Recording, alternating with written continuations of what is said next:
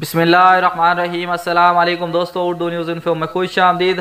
دوستو، جیسا کہ آپ جانتے ہیں، دو دن پہلے شاہ سلمان بن عبدالعزیز نے ایک شاہی فرمان جاری کیا تھا۔ ان لوگوں کے لیے جو لوگ سعودی عرب سے اپنے ملک میں چھٹی پر گئے ہوئے ہیں اور ان کے ایگزٹ ری انٹری ویزا بھی ایکسپائر ہو گئے اور اکامی بھی ایکسپائر ہو گئے اور جو لوگ سعودی عرب میں موجود ہیں، جنہوں نے ایگزٹ ری انٹری ویزا لگوائے ہوئے تھے فائنل ایگزٹ لگوائے ہوئے تھے، ان کے کامیں بھی ایکسپائر ہو گئے فائنل ایگزٹ ری انٹری ویزا بھی ایکسپائر ہو گئے۔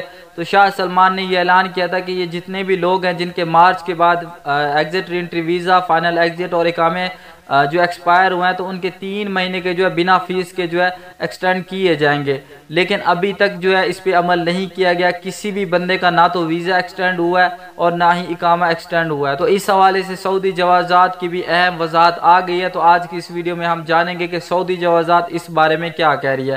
تو چلیں دوستو، شروع کر لیتے ہیں آج کی ویڈیو سعودی محکمہ پاسپورٹ نے کہا کہ غیر ملکوں کے کاموں اور ویزوں سے متعلق سرکاری رعایتوں پر عمل درامت کے طریقہ کار کا اعلان جلد کیا جائے گا۔ اخبار 24 کے مطابق وزارت داخلہ نے اعلان کیا تھا کہ شاہ سلمان نے غیر ملکوں کے کاموں اور ویزوں میں متعدد سہولتوں کی منظوری دے دی ہے۔ شاہی فرمان کے مطابق غیر ملکوں کے خروج نہائی، فائنل ایگزٹ، بیرون ملکت خروج عہدہ، ری انٹری ویزے پر موجود غیر ملکوں کے کاموں میں تین ماہ کی مفت توسیع ہوگی، جبکہ ایسے غیر ملکی جنہوں نے خروج عہدہ، ری انٹری ویزا لے کر استعمال نہ کیا ہو، اس کی میاد میں بھی تین ماہ کی توسیع دی جائے گی۔ شاہی فرمان کے تحت بیرون مملکت میں موجود خروج عہدہ ری انٹری ویزے میں تین ماہ کی توسیع ہوگی۔ وزٹ ویزے پر سعودی عرب میں موجود غیر ملکوں کے قیام میں تین ماہ کی توسیع ہوگی۔ یہ سہولتیں کوئی فیس لیے بغیر دی جائے گی۔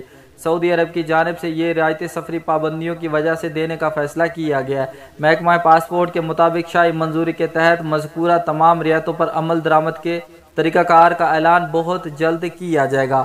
یعنی کہ دوستو، جو لوگ سعودی عرب میں موجود ہیں اور ان کے وزٹ ویزا بھی ایکسپائر ہو گئے کرونا کی وجہ سے یعنی کہ پندرہ مارچ کے بعد بعد جن کے ویزے ایکسپائر ہو گئے ہیں، وزٹ ویزے ایکسپائر ہو گئے یا جنہوں نے یہاں پہ سعودی عرب میں موجود ہیں اور انہوں نے چھٹی لگوائی ہوئی تھی ایکسیڈنٹری ویزا لگوایا تھا یا خروج نہائی لگوایا تھا، ان کے کرونا کی وجہ سے ایکسپائر ہو گئے یعنی کہ وہ سفر نہیں کر سکے فلائٹ آپریشن بند ہونے کے بعد، تو ان کے خروج عہدہ فائنل ایگزٹ اور اس کے علاوہ جن کے وزٹ ویزا ایکسپائر ہو گیا کرونا کی وجہ سے، تو ان کے بھی تین مہینے میں جو ایکسٹینڈ کیا جائے گا بنا کسی فیس کے۔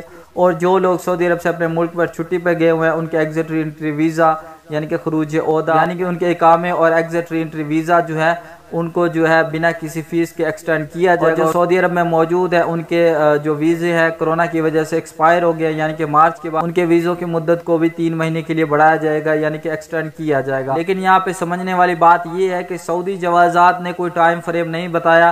انہوں نے کوئی ڈیٹ نہیں بتایا کہ اس ڈیٹ کو ہم جو ایکسٹینڈ کرنا شروع کر دیں گے یعنی کہ رینیو کرنا شروع کر دیں گے۔